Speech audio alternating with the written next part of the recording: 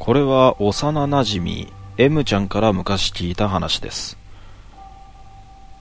入院中だった M ちゃんのおばさんが既得だというので M ちゃん一家は病院へ駆けつけたそうです。よくドラマなんかで心電図がピーッとなって点点点なシーンになった時おばさん泣きで M ちゃんが声をかけたそうです。そしたらおばさんはうつろな目を開いて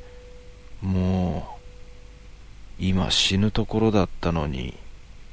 てつぶやいてお亡くなりになったそうです。